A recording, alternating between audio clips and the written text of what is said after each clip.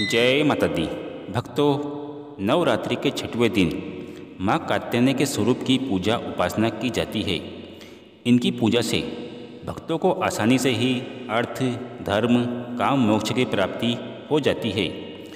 भक्तों के रोग, शोक, संताप, अनेकों कष्ट समाप्त हो जाते हैं। मान्यता है कि माँ के इस स्वरूप की पूजा करने से विवाह में आ रही रुकावट दूर हो जाती है। देवी भगवत पुराण के अनुसार देवी के इस स्वरूप की पूजा करने से शरीर कांतिमान होता है। इनकी आराधना से ग्रस्त जीवन सुखमय रहता है। माँ कात्यायनी की पूजा करने से राहु, काल सर्प दोष से जुड़ी परेशानी भी दूर हो जाती है। माँ कात्यायनी अमोदी फलदयनी है। इनका स्वरूप अत्यंत भव्य और दिव्य है। इनका रूप स्वर्ण के समान चमकीला है। माँ की चार भुजाएँ हैं, इनके बाएँ हाथ में कमल और तलवार है और दाहिने हाथों में स्वस्तिक व आशीर्वाद की मुद्रा अंकित है।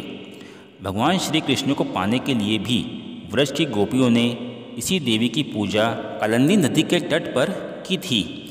ये ब्रजमंडल की अधिष्ठात्री देवी के रूप में प्रतिष्ठ है।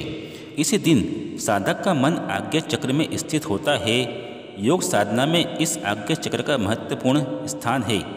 इस चक्र में स्थित मन वाला साधक माँ कात्यायनी के चरणों में अपना सर्वस्व निवेदित कर देता है।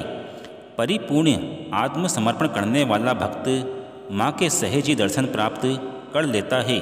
देवी माँ के भक्तों, अब मैं आपको बताऊँगा कि माँ कात्यायनी किस महर्षि की पुत्री कहलाई। भक्तों कत्य नामक नाम के एक प्रसिद्ध महर्षि थे। उनके पुत्र ऋषि कात्ति हुए, इन्हीं के कात्ति के गोत्र में विश्व प्रसिद्ध महर्षि कात्यायन का जन्म हुआ। इन्होंने भगवती परम्बा की उपासना करते हुए बहुत वर्षों तक कड़ी कठिन तपस्या की।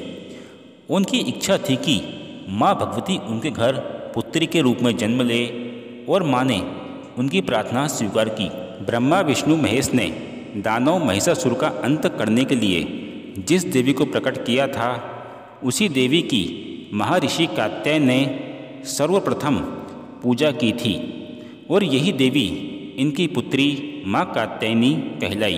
भक्तों, आपको जानकारी दे दे कि भगवान श्री कृष्ण की नगरी वृंदावन में देवी के इक्यावन शक्तिपीठों में से एक माँ कात्यायनी का पीठ स्थित है।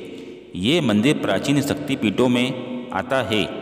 कहते हैं यहाँ माँ सती के केश गिरे थे, जिसका प्रमाण शास्त्रों में मिलता है। नवरात्रि के दिनों में देश विदेश से लाखों भक्त माता के दर्शन करने यहाँ आते हैं। कहा जाता है कि माता राधा रानी ने श्री कृष्ण को पाने के लिए इसी शक्ति पीठ की पूजा उपासना की थी। भक्तों, नवरात्रि के छठवें दिन माँ कात्यायनी की ये कथा यहाँ समाप्त हुई। बोलो कात्यायनी माता की जय।